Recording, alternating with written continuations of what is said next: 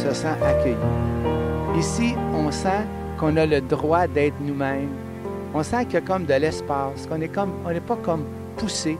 On a de l'espace pour vivre, on peut se déstresser, on peut comme respirer et puis vivre. Ça fait donc du bien de venir ici. Il y en a qui me disent, j'arrive ici, c'est comme un petit coin de paradis. Et puis là, ben, je fais une brisure avec ma vie ordinaire, je retourne ensuite, puis j'ai comme plein d'énergie, plein de vie pour euh, une semaine, un mois, un an, jusqu'à temps que je revienne. Alors, euh, c'est, ce que je désire, c'est que c'est ce que nous désirons, que ce soit un milieu où la vie puisse grandir. Puis la vie a finalement jamais fini de grandir.